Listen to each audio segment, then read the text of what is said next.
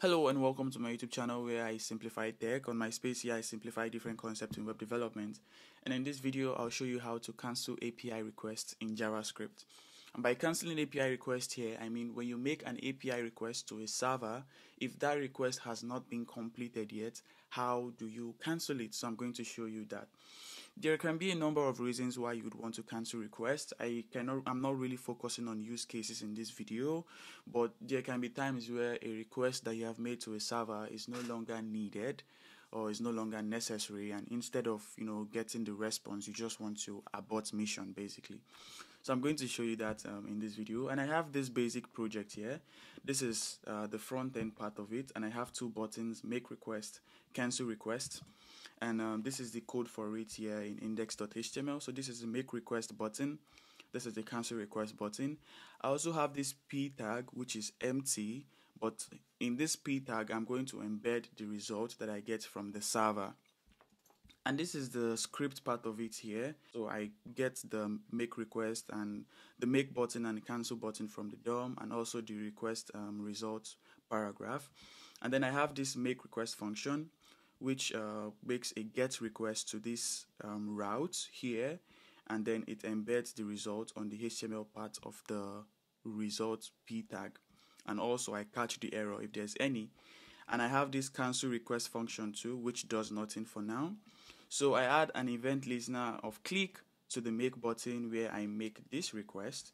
And then I have the cancel button which for now just logs cancel button clicked and this is the simple server I have here made with Node and Express and I have just one API route which is this and all this does is returns a JSON object with a message property and a response value so now we can test this when I click on make request. You can see a response indeed shows here. Now, how do I cancel this request? By clicking the cancel request. I mean, for now, this does nothing. It just shows cancel button click. To do this, this is where we are going to start by using the abort controller constructor object or constructor function or constructor. So uh, I'm going to create a new object instance abort controller. This abort controller um, object provides different properties, but the one I'm interested in particularly is the signal property and the abort method. And I'm going to show you that in a second. So first, let me start from the signal, abort signal, abort controller dot signal. Now this abort signal, um, before I go further to explain it, I can log it to the console so you see how it looks like. This abort signal has different properties, uh, one of which is the aborted property. And this is a boolean which specify if this um, signal has been aborted or if it hasn't. By default, it is false. So that's it for the abort signal. And then for this cancel request here, I'm going to call the abort method. So the way this abort method works is when you call on abort, it's going to update the aborted flag or aborted property of this abort signal object. It's going to update it to true. And I can quickly show you that. So I'm going to log abort signal here. Then I can replace this with cancel request. So now when I click on cancel request, you can see that the aborted flag is now true when it was false initially. So how do we create a relationship between this abort signal and the fetch method? This is where we are going to apply request options. Now with the fetch method, you can apply a number of request options. You can apply a body, cache, credentials, headers, and whatever. But the one I am more interested in is the signal property. So with this signal property, when you click on the cancel button, it's going to call cancel request. When we call on cancel request, it's going to call on the abort method of the controller. And this abort method is going to update the signal aborted property to true and it's also going to inform the observers of this signal which in this case is the fetch method. It's going to uh, inform them that this API request should be aborted. But now we cannot really try it because when we click on make request this is already too fast. We already get our response so it is not aborted. So to create a delay for our response on the server here, I can create a set timeout and I can put this here and I can just put this for two seconds. So now our request is going to take two seconds before giving us um, a response. So when I go back here, when I click on make request, I can cancel the request.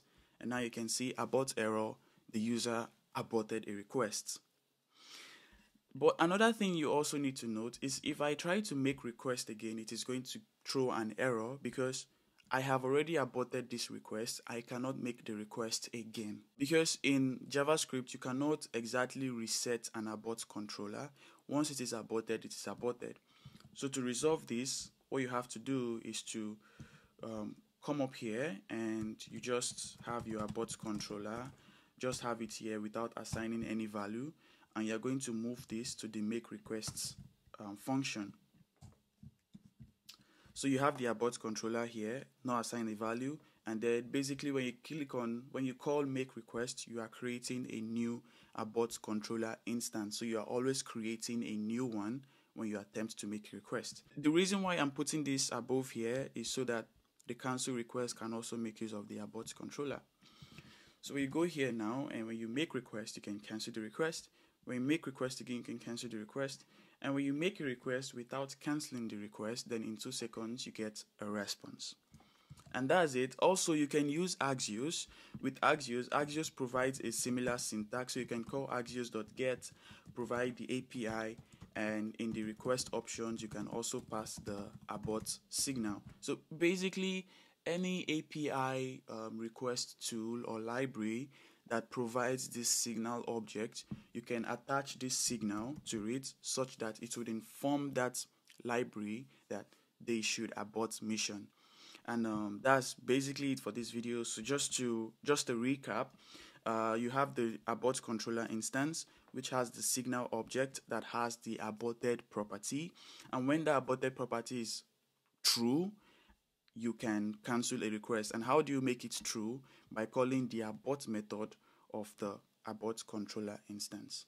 If you found this video helpful, kindly leave a like, kindly subscribe, and also share with whoever you believe would find this helpful.